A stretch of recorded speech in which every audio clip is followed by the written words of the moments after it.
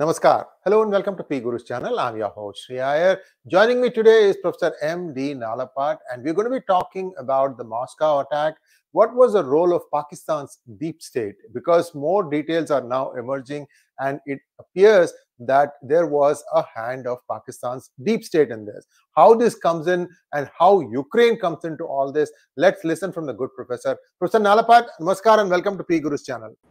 Namaskar, Sree. Namaskar. Uh, Professor Nalapat, very interesting article today on the Sunday Guardian. Viewers, I encourage you to read it. I will put that link in the references section of uh, in the reference uh, portion of the description section. I'll, I yield the floor to you, Professor Nalapat. Go back a little bit because these days you're getting a lot of assassins for hire. How can one say that this has got the footprint of Pakistan's deep state in it? Well, uh, I'd like to say that uh, any crime, there is evidence. There is no crime without evidence. And there will be telltale signs of that evidence. Now, Abhinandan Mishra, the who, who wrote that particular front page item for Sunday Guardian, he has extensive contacts in a number of uh, places, places that, frankly, Sree, you and I would hesitate to go into. Individuals uh, who, uh, frankly, that you and I may hesitate to meet or be in contact with. Abhinandan has got contact. He does meet them, he talks to them, and several exceptionally good reports have come out, uh, almost all of which have been corroborated subsequently. So he's a very credible writer, and he has uncovered a lot of evidence, uh, basically linking elements in the Pakistan deep state.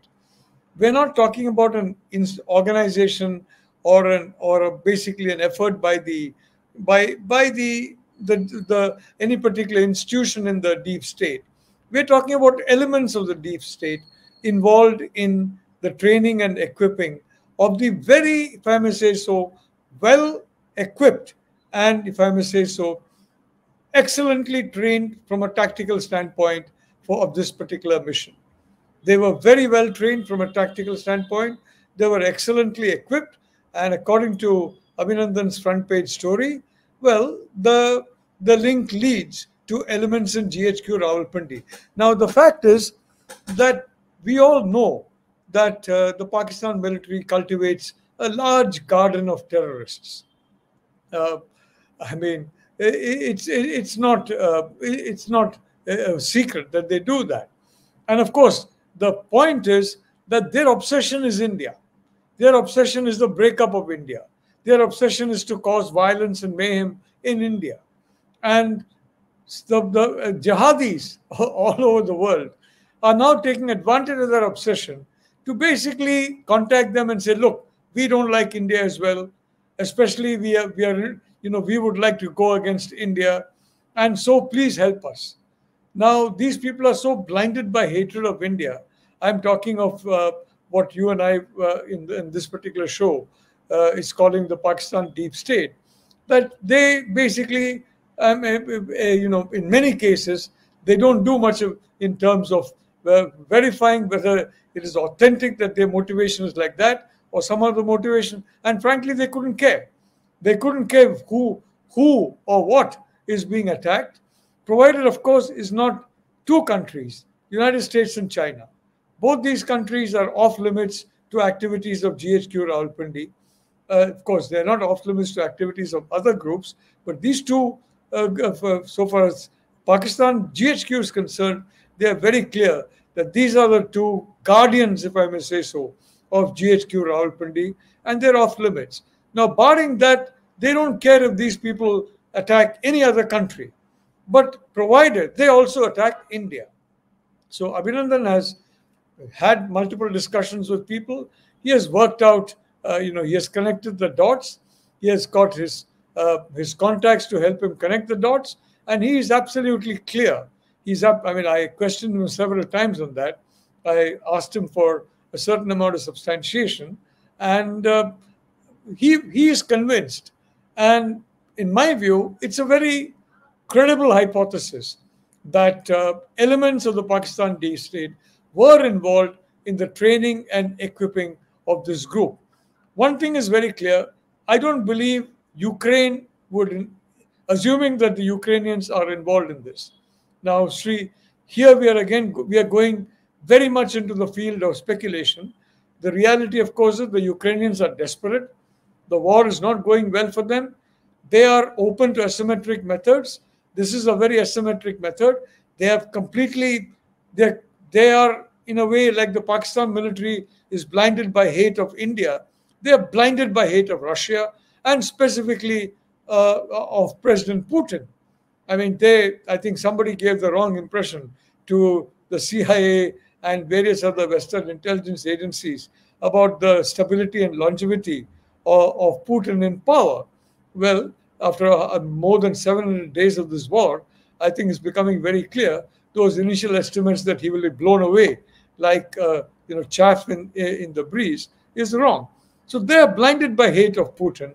And let's face it, this attack has been a terrible blow to the reputation of Vladimir Putin. There's no getting away from it. There's absolutely no getting away from it. The fact that about 200 people died, and we are seeing the death count climb start steadily, it'll probably be more than 200. The fact that this kind of attack took place in the capital of Russia, in in a in a in a place frequented by uh, by individuals by ordinary citizens of Russia, and frankly, a lot of them would have, would be would have been pro uh, Putin. Now, I mean, it, it is uh, this entire attack. It was intended to damage the reputation of President Putin. Not uh, forget about the globe. Certainly within Russia, as a strong man capable of protecting the interests of Russia. This attack was designed with that express purpose. The location, the methods, the, the, the means, the impact, all that had has definitely had a huge adverse effect on the on the perception of the persona of President Putin as a strong man, the man who can protect you, the man who can keep you safe, you know, trust Vladimir Putin. Now, after this attack, it's as though the attackers are saying, Can you trust him anymore? This is what we did. And can you trust him anymore? So, frankly, I mean, again, I would like to say I am not getting into any assertion of fact. I'm simply saying circumstantially, there is no doubt that Ukraine has, the, the Ukrainian leadership has the level of animus against President Putin so great that it could very well have been incentivized to carry out this kind of an attack. Now, if that is the case, they would obviously not have that. They would have been very careful to keep any Ukrainian uh, fingerprint on that. Whether, of course, these uh, individuals uh, went in the direction of Kiev, obviously because they were not suicide bombers, they were mercenaries. They wanted money, and you want money for a better life. You don't want money well, I mean, when you're about to uh, kill yourself, honestly, it makes no difference. So, the barring that, it is there. It is. I think that they were very careful, assuming it was them, to leave no fingerprint, a Ukrainian fingerprint, on the attackers, or on those who equipped them, those who funded them, etc., etc., etc. Now, of course, the FSB, after this particular act has gone into operation, frankly, uh, I am a little surprised that the FSB did not uh, detect this earlier. But the, that is the problem with terrorism, Sree. You can detect 999 terror attacks and save a umpteen number of people. But one guy who gets through blows up your reputation to smithereens. Thank you, sir. Uh, I, I get the idea that Ukraine probably had a roundabout way to get this thing to inflict upon Russia.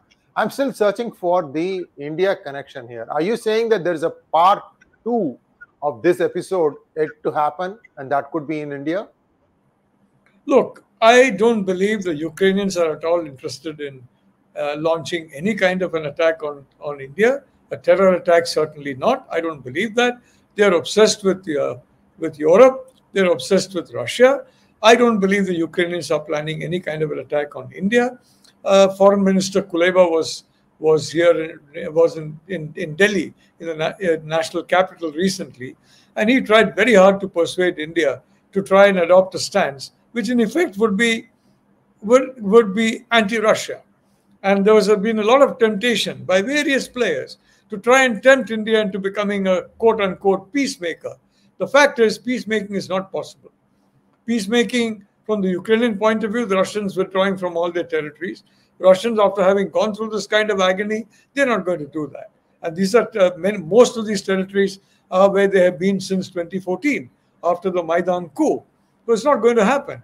So I don't believe that India is at any risk of Ukraine doing this kind of thing. But yes, we are and we were and we will be at risk of the deep state of Pakistan carrying out uh, uh, attacks. And I think it's a tribute to our security uh, agencies that we are they're doing a, if I may say so, a very good job of keeping the country safe from this, frankly, this particular institution that is breeds monsters routinely and is protected by the United States and China. There's one issue on which the US and China both come together. And one reason is that the United States and China both benefit from Pakistan different ways. From the United States point of view, possibly they're talking about intel uh, about China. The Chinese point of view, of course, India is very much front and center.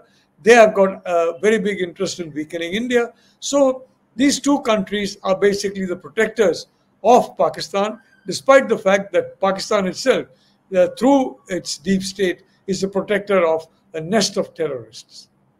Professor Nalapat, the United States did issue a warning to Russia of an impending terror attack. Um, so, if they wanted this to go through, why would they issue that warning? Sree, let me say very clearly that look, first of all, I mean, I'm not going to say the United States is behind it.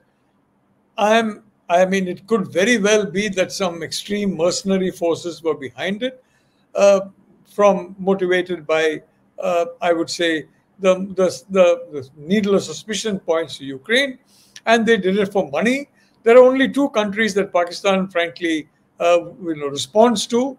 And one is the United States, partly, and the other is China, partly. So I'm not saying the United States is behind it.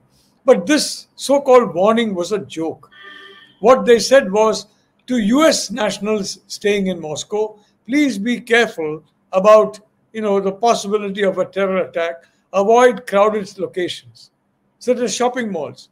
What they were essentially saying was what Biden was saying was go to the basement, behave as though you're back in the lockdown of the COVID 19 period. Go into the basement, don't step out, don't go to crowded places. God, you go on a pavement, you go into a metro. I mean, you get onto a road, you're in a crowded place. So, frankly, this is hardly a warning. I mean, I can tell you, uh, I mean, I can warn every country in the world be careful about a terror attack. And uh, uh, um, if, unfortunately, any of these countries have a terror attack, I can then come on your show and say, look, I warned you. The fact of the matter is, of course, uh, if you've got uh, slightly, if I may say so, the kind of mind that an intelligence officer would have, which you and I don't have, then you will, you know, this is a good deniability uh, mechanism. You first, you know something is going on, you then warn the target country in a way which, frankly, they will not take seriously. And then you say, look, I told you so.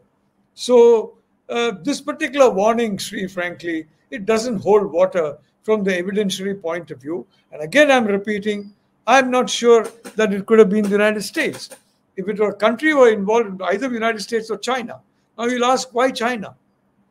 Yes, it's counterfactual to say that, you know, the, the, uh, Putin is so close to Xi, Russia is so close to China.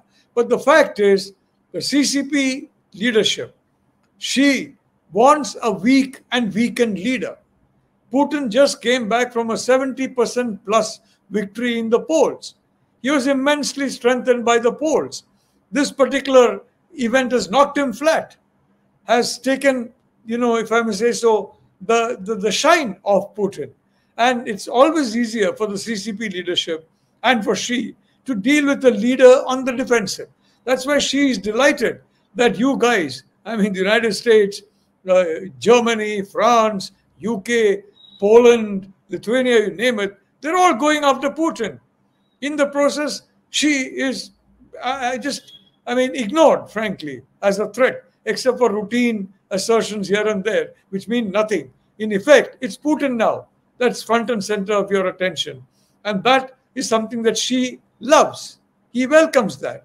So, quite frankly, uh, you know, uh, a weakened Putin is much better for Xi Jinping than a strong Putin.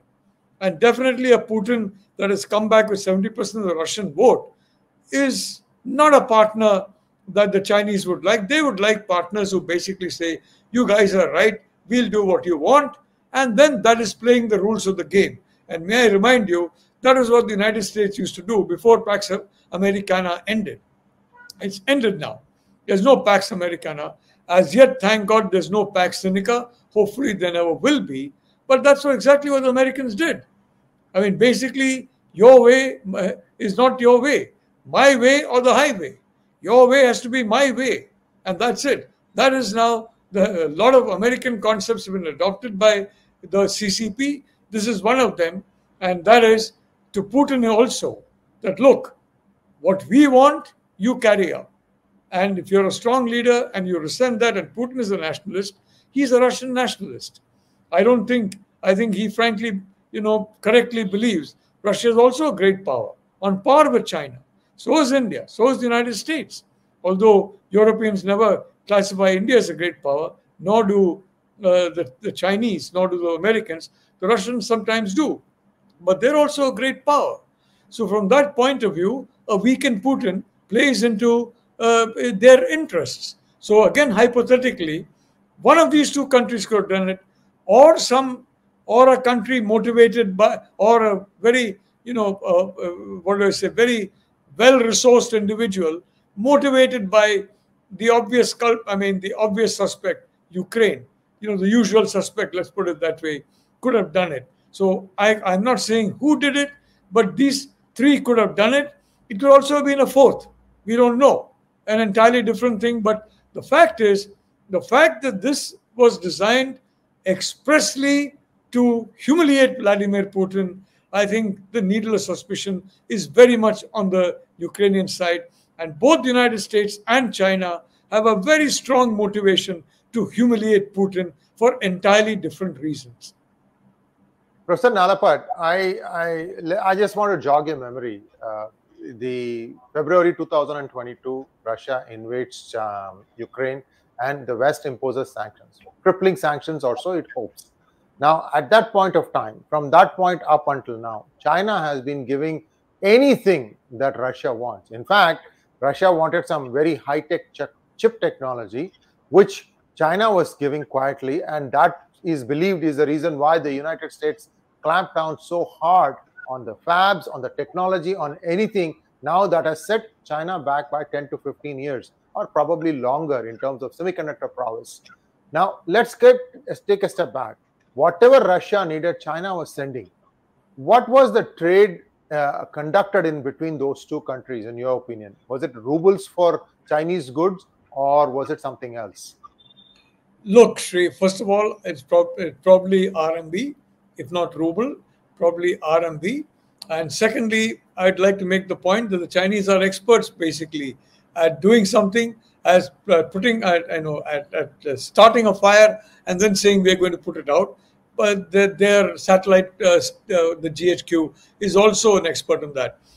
I, we have said from 2022 onwards, I have been saying the Chinese want this war to continue. They want this war to continue indefinitely until they can, quote unquote, settle the question of Taiwan, settle what they believe is the unfinished business of unification. And the most impressing unfinished business, in their view, is uh, the conquest of Taiwan. They would like this conflict to continue. So, is it any surprise that they're helping Russia with whatever Russia needs to continue the conflict? I, am surprised that, you know, I mean, uh, anybody is surprised. You recall my conversations that the Chinese want this conflict to continue and continue and continue so that the attention of NATO and the West is taken away from the Indo Pacific, from Taiwan, and at that point in time, from, from the Himalayan Massif of course, on South China Sea, which is now a PRC lake. So they have a very clear interest in this conflict continuing. So please, uh, Xi, uh, you know, Jinping, The fact of the matter is that he obviously wants to keep Russia in the fight. If the West wins this battle, it's a defeat for China, a strategic defeat. It's not only a, a strategic defeat for Russia, it's strategic defeat for China. And secondly, it then the West is basically ceased to be distracted. So the reality is they want the Russians to continue this conflict and they want to keep the pot boiling to ensure that the Russians don't that they must be advising Russians, please be careful, please be careful. Now Putin is showing signs of impatience. He's talking about use of nuclear assets, etc. But they must be telling him, please be careful, please be careful. They'll be recording that and they'll be playing that back to people in Europe and Washington. Look, we have been trying our level best to get Putin to be careful, to get Putin to lay off. We are doing our best. They'll make umpteen calls to Ukrainian politicians, umpteen calls. Chinese diplomats will be all over Kiev. Uh, I mean, really, you know, with Ukrainian uh, uh, policy holders. They'll be doing all that, I can tell you. So the reality is, they don't want Russia to win. They want basically the war to continue until they can finish this unfinished business, according to them, of Taiwan. So the country in the greatest danger, in my view, of this war continuing is Taiwan. Thank you, sir. Um, one one episode that we did recently uh, in on Guru, just a few hours ago, in fact, was the proliferation of fake currency that appears to have the blessings of the Chinese Communist Party, the CCP itself, seems to be putting out these notes, and we have some evidence. Uh, one of our readers actually sent. Uh, he went to an ATM in Shanghai a few years ago and he tried to withdraw 500 yuan. Four of those yuan notes were identical, including the serial number. And, and, and he panicked because he was on a visit from India. He thought that this is not legal currency if he has the same currency with four serial numbers, uh, four, 400 yuan notes, the same serial number. And, and he went to a bank there, and the bank didn't even bat an eyelid. I said, This is common. So China essentially tries to make it look like it is not circulating as much yuan as is original as is contended. And the way they get around this by, is by printing officially the same note four times. That is just a going number. Some could be five some could be six. Now you said that probably russia paid for it with yuan. Sir in an, in a previous episode one of my guests said that uh, russia's oil that china wanted to get they wanted russia wanted to be paid in euros. And and that was a huge bone of contention because we know that china is scraping the barrel as far as having dollars or euros at this point of time. And this was not something that happened in one year. It has been happening for a period of time why would putin accept rmb sir if i know it i'm sure fsb knows it why would he accept RMB, sir? I'm still having a difficulty trying to get this thing in my head that uh, you, Russia would accept RMBs. Uh, Sree, first of all, yeah, congratulations for that kind of discovery of multiple RMB notes. I'd like to point out that as the, as you as you correctly said, it is these are all legal tender. They're not counterfeit.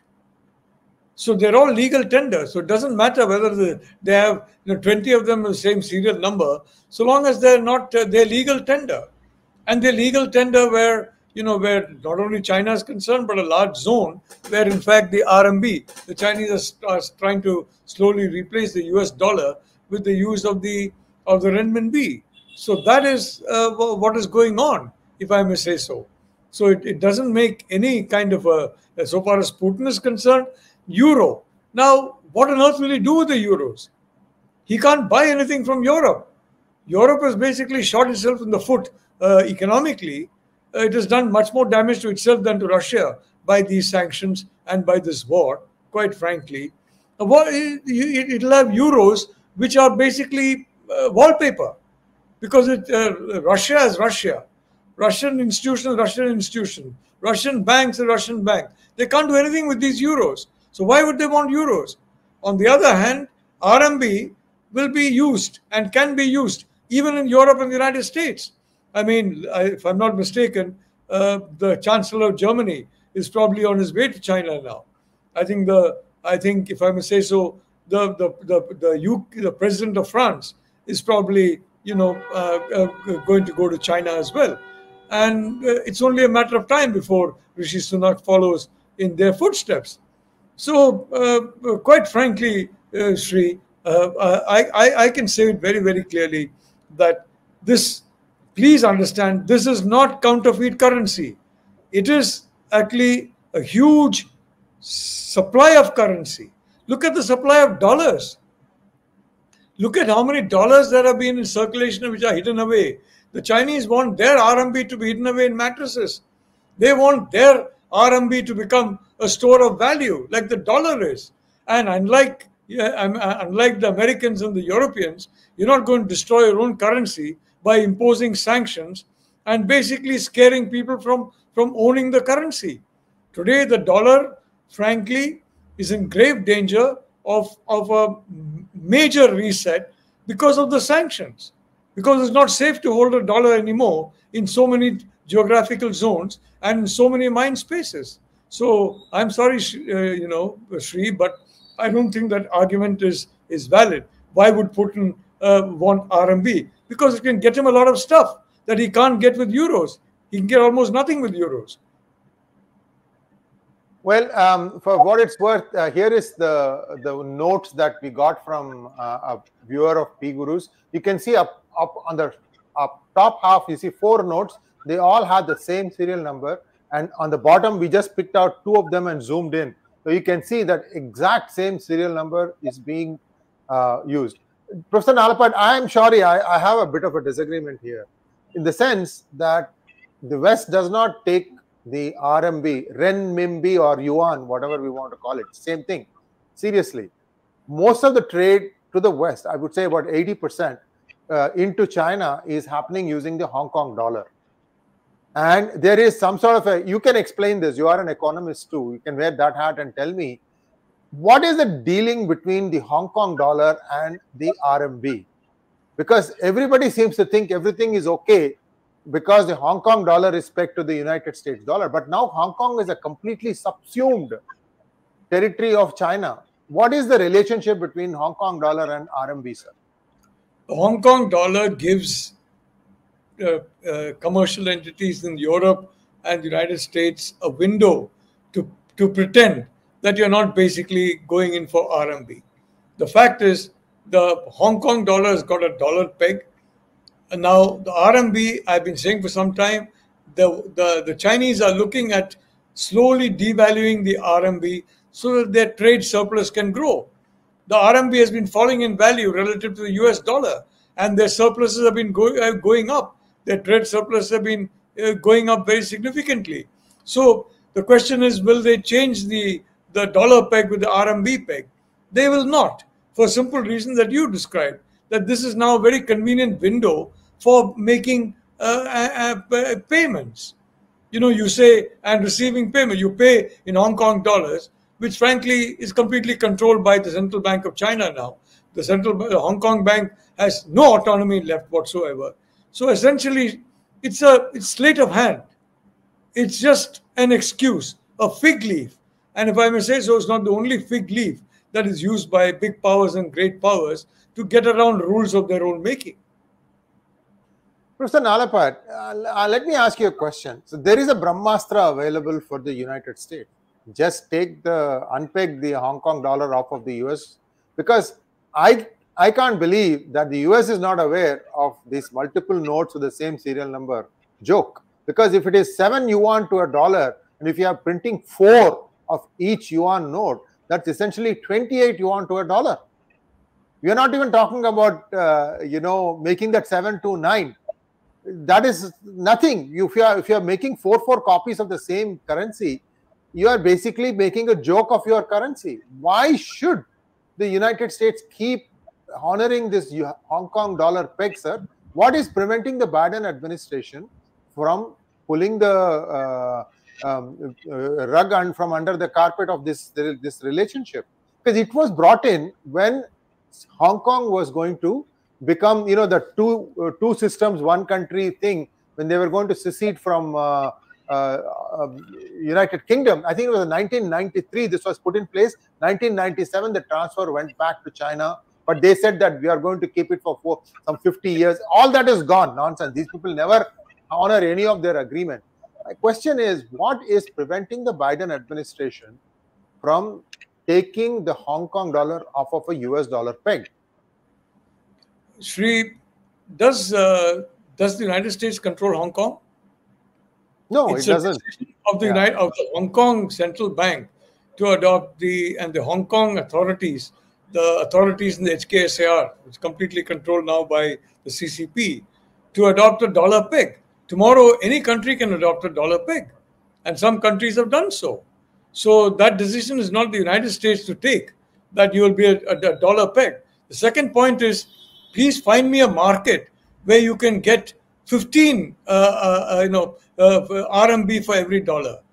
You will see a trillion dollars enter that market in a matter of one hour. I can tell you. Look, this is an age of markets.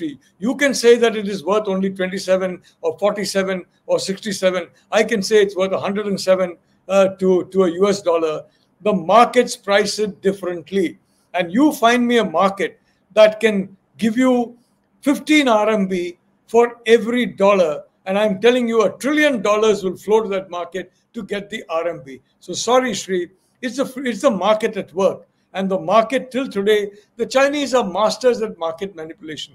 I've said for a long time that you know, I mean, in, normally the price of a product is determined by the cost of the factors of production. In China, the the factors, the price of the factors of production is determined by the price. The price at which they can outsell any competitor, and they make sure the factors of production that go into it are priced in such a way that this becomes that this becomes possible. So the Chinese have got a unique authoritarian system, and that is keeping this particular level of the RMB uh, at where it is. You're saying seven and a half, eight. Uh, My own view is it'll fly, fly slowly start drifting to about nine or ten if there's a pressure uh, on on Chinese trade. The trade deficit starts, you know, with other countries, creates in them withdrawing from the Chinese, uh, you know, uh, I mean, as a source of supply. That's not happened yet. It should happen. And one of the ways the Chinese are keeping it from happening is a softening RMB. But tell me one location where you can get the, the kind of value you are saying for a US dollar as compared to RMB. Well, um, I think we can go on on this debate, but I think we should get back to the original topic, which was the role of Pakistan's deep state in uh, this uh, whole Moscow thing. Pakistan has been supplying arms and ammunition as well as some drones, which is unbelievable that Pakistan makes drones to Ukraine. That's what people say. So, uh, wrap it up here for us. What should India expect from all this stuff? And, uh, how do you see the war go? Is it going to end tomorrow? Because the Maidan revolution happened, then Crimea annexation happened. Move, counter move. Can I say that? Of course. So now, now you have the Russian invasion. What is going to be the counter move from the West? Uh, the point is, the West has basically exhausted almost all the arrows in its quiver. How many more sanctions are you going to put on Russia? You've already sanctioned them. Uh, more than I think a thousand sanctions are on Russia. Well, where are the additional sanctions? Is the Russian economy collapsing? Is the ruble collapsing? No. And why? Well, because the global West does not buy the Western narrative on Ukraine at all. They don't regard Ukraine as a central question facing humanity. The global West is completely moved away from the West as a consequence of the of the, the, the complete absorption of the West in Ukraine. And in Biden also, you see the enormous support he has lost among uh, uh, African American voters and Hispanic voters, Black Americans and Hispanics. Biden came to power on the back of the back of the black and Hispanic vote. Is Ukraine black? Is Ukraine Hispanic? Uh, Biden begins a State of the Union address, which is meant to appeal to a US voter, and he begins and basically goes on to a monologue about Ukraine. He's obsessed with Ukraine. I, I, now it's very clear to blacks, to Latinos, to practically, you know, to all these groups that Biden is not interested in us as much as interested in Ukraine. And they're buying into the conspiracy theory. I don't believe Biden is a racist. I don't believe his, anybody in his family is racist. The conspiracy theory is Biden is secretly a white supremacist. All he cares for uh, are, are white countries. Ukraine is white, so that he's bothered only about Ukraine. And may I tell you, this opinion has spread throughout the global south, and I'm sure it's spread among the uh, black and Latino communities uh, in the United States. That Biden only cares for the Ukrainians because they are white, and he doesn't care for anybody else. He's draining US money because they are white people. It's a, it's a, it's not correct. It's wrong, but it's hurting Biden. This war is costing Biden the election. So tell us one thing. I would. It would be remiss of me if not uh, not to ask this question. Why was Victoria Nuland eased out? In my my guess, and and remember, uh, Sunday Guardian is the newspaper that first exposed the fact that the fact that it takes 900 days for an Indian to get a visa and four days for a, a Chinese to get a visa. Uh, well, uh, I, we exposed that, and thereafter, I think very quickly, you know, then of course excuses were made. It'll take years and years to iron out. But today, I'm happy to tell you, a few, uh, the United States got into action. The Biden administration got into to a hyperactive mode. They realized the immense damage this is doing to India-US relations. And now I'm happy to say the United States is, where visas are concerned, one of the most efficient countries in the world. They're far more efficient than the European Union, among the worst locations, you know, the places to get a visa for an Indian is Schengen visa. Why? Because frankly, I think they still have that mentality. You know, the the the what do I, what do I say? The the master race and this and the and this and the slave races. You know the you know and this and as a consequence, it's so difficult to get a Schengen visa for so many people who would never want to settle down there. But the people who are settling down there appear without visas. So you deny access to the, uh, the good people and you get people without visas. I said this 20 years ago in the United States. I wrote, I think, in UPI or some other publication that you guys are blocking people from Chennai and Hyderabad. And what's going to happen? All kinds of people are going to come in without a visa, without anything. And you're going to be flooded with them. Whereas people from Chennai and Hyderabad will give you taxes. They'll be model citizens. And you're keeping them out. The same thing is happening in Europe. It's so difficult to get a Schengen visa. Uh, and, you know, and the fact is, they should be welcoming people from India with open arms. Thank you so much, Professor Nalapat. We have a few questions from our viewers. If you don't mind, shall we take them? Of course. Thank you. Thank you, Tota, Totaka456 Janakiraman. Thank you so much for becoming a YouTube member. Partha wants to know what is your view on alternative locomotive fuels? While hybrids and EVs are great, can we shift to hydrogen and ethanol? And if yes, uh, Partha, this is out of syllabus. Let's not take this thing because we are talking about geopolitics here. Um, uh, Lakshan, uh, uh, I am a dunce in this question. I wouldn't be it. Let's be honest. Sorry, Partha. Um, Lakshan wants to know what is Britain's role in all these Five Eyes stuff? Do they know and hence illogically have a Brexit? EU at war with Russia. That is EU at war with Russia. Look, uh, the Five Eyes. I mean, they're as good as the intel they get. And uh, in my personal view, it should be Seven Eyes. Japan and India should be added to the Five Eyes.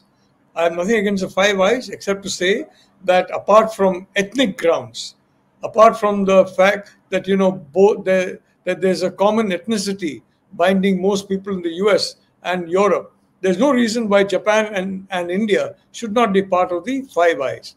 Now, frankly, as far as Brexit is concerned, well, it hasn't really worked out the way the, the Brexiteers, Boris Johnson, others thought it will work out, mainly because the British, even after Brexit, they, they, they should have planned Brexit and done Brexit after preparing the ground. They first do Brexit and then they jump and realize they've, they've jumped into a deep pond and then we have to learn to swim. And now they're learning to swim. I must say, Rishi Sunak has done a pretty good job of navigating, uh, uh, I mean, the, the waters, much better job than Johnson, Poor Liz Truss was not allowed to do a good job, but Johnson did an awful job. Uh, and EU at war with Russia, I think it's quite obvious. It is at war with Russia. Absolutely.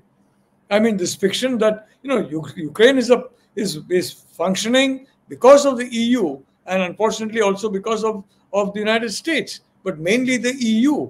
It is a de facto war with Russia. It's not a de jure war with Russia, and that is my worry that one day Vladimir Putin, whom you're you know humiliating, insulting, attacking in various ways, not just verbally, and now through very I mean through various means one day the man may say, all right, let me be, you know, uh, in a direct war with, with, with Europe. Let's say he attacks a Baltic state. Let's say he attacks, he drops a tactical nuclear weapon on, on, a, on an aircraft, you know, supply site in Poland. What, is, what are you going to do? I have asked this question from 19, 2022 onwards. What are you going to do? You can't fight the most foremost nuclear power in the world if it decides to use that weapon against you. The only authority that is left is moral. And if you tear your moral authority to shreds, which are, unfortunately is happening, um, different countries are doing it. It's not just uh, you know the United States or the EU that's doing it or the UK. The Chinese are doing it. There are I mean, a lot of countries are doing it. But the reality is, my worry is that this the EU believes it can keep away from direct war with Russia. If Putin calls the bluff of Article 5 of NATO and attacks a NATO country, what is the EU going to do against a nuclear weapons power? I think Putin will wait till the uh, till after the U.S. elections, and also um, about uh, United Kingdom politics. If elections were to be held today in United Kingdom, it is believed that the Conservatives would get less than hundred seats. I think the Parliament is uh, 600 something, so it's it's going to be a massive defeat for the Conservatives. We'll have to wait and see what happens because already things are quite bad in UK. It is being run over because of its liberal uh, policies for illegals once they land uh, on their shores. And if the Labour comes to power, God save UK, UK is gone. Anyway, that's all I can say. Next question, please. Uh, Manov San wants to know, Professor Nalapat, is Nuland another Robin Raphel and how can India insulate itself from such deep state stuntsmen? By, by exposing them, uh, frankly, by exposing them, as Sunday Guardian exposed Nuland as being the brain behind this uh, visa denial scheme. Now, Robin Raphel hated India. She was in love with Pakistan. There was a guy called Shafqat Kakakhel in Pakistan, and Robin Raphel and Shafqat Kakakhel were friendly with each other. I'm not going to go further than that except to say her they were very got, sir her husband got gunned down along with uh, Zia ul Haq on that plane. Look i'm How only can you saying, still be in love? I, I, I, was he gunned down by Shafqat Kakakhel i didn't know. Shafqat Kakakhel was a, was a very charming guy Pashtun chap very charming chap. And back in the 90s he and Robin were inseparable and a lot of her inspiration for attacking India came Victoria Nuland has an obsession with Russia absolute obsession with Russia.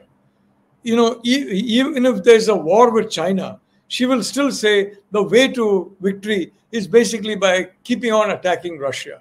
She's obsessed with Russia. So she, she's another Robin Raphel in the sense she's also obsessed.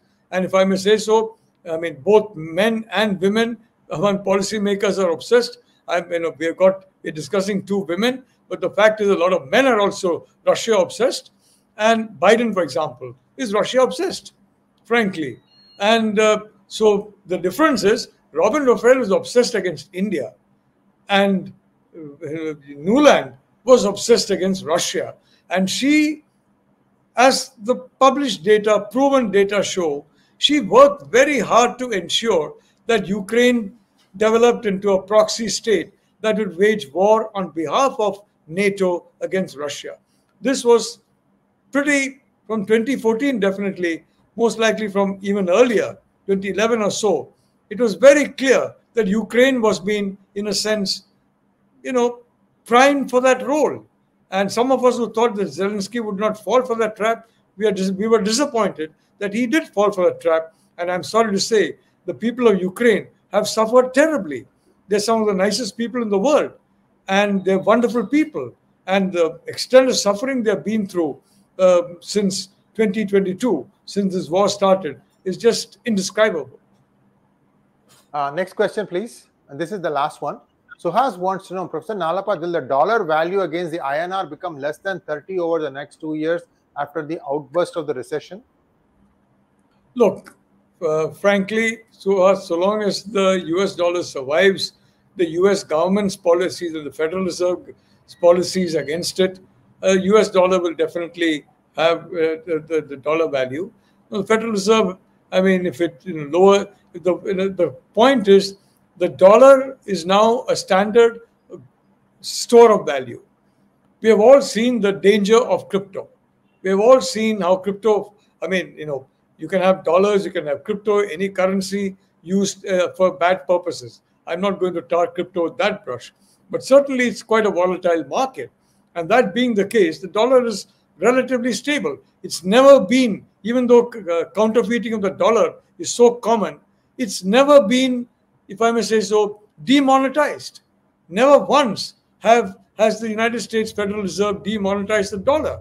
So it's not going to a situation where you keep stuff your dollars under a mattress and one day they demonetize and they come out in a different color. You know, it's it's never happened. It's unlikely to happen. So that being the case, I think the, the dollar is got its value not because of its intrinsic value, because of its value to other countries, to holders of the dollar, external holders of the dollar. And so long as there are external holders of the dollar, the dollar will have an over, be an overvalued asset. And so long as we have a, you know, in India, we have a policy that basically favors an undervaluation of the rupee uh, for the purpose of trade. Frankly, I believe 30 to a, a dollar is would be an ideal uh, uh, benchmark to reach, and it will be good for the economy. But the central bank doesn't agree with me, and it's not agreed with me for several decades. So, uh, I, as of now, frankly, it should be the right value but I doubt it's going to be a right value. And I think the reason is the Central Bank of India is still completely export uh, obsessed and keeping the value of the rupee, you know, uh, uh, not not floating up too much. As far as dollar is concerned, it's still, despite all the blows that the that sanctions have done to it by Obama and by by Biden, it is still uh, the currency of choice for those who want to hold currency, except individuals in target countries. These individuals will be removing the dollar and probably buying up crypto. And the fact that they're possibly buying up crypto may be one reason for the sudden escalation in the price of crypto. You know, uh, from my economics class, uh, from my economics class when I used to study engineering, there are a couple of classes that you take for economics. You know, uh, there's one saying that I've always remembered: money is a matter of functions for a medium a measure, a standard, a store. Those of us who think that any other currency can, uh, you know, replace the dollar to pay attention to the last part, a store. What would you like to store if there is a nuclear holocaust tomorrow? Which currency are you going to keep? Yes, sir. Yeah, I'd like to say that, uh, you know, you have a lot of people in Pakistan who are completely beholden China. Check how many of the children are studying in China Check how many houses they've they've they've bought in Shanghai or Beijing. None, none. They're all in the United States, frankly. So I quite agree with you. I don't think anybody would be jumping to the Chinese, uh, I mean, boat anytime soon. The America is still a much better country to live in. It's still a much friendlier country. And let's be honest, democracy counts, freedom counts. And you know, I'm not saying that you're perfect, but certainly you're way, way, way better than the PRC. Thank you so much, sir. That was 49, 50 minutes of pure Gyan viewers. Uh, those of you who have not had a chance to watch it, or if you are confused about some of the things we talked about, you may want to watch it again. Professor Nala, Nalapat is a, a, a, big fount of information, and we've, we've we've traversed a lot of topics here, even though we were discussing one topic. The reason for that is that everything is right now tightly coupled and and this is the way things are going to be for a few more years a few more decades who knows thank you so much professor nalapat and viewers. Please like share and subscribe to our channel. Don't forget to click on the bell button for notifications. Namaskar. Jai hind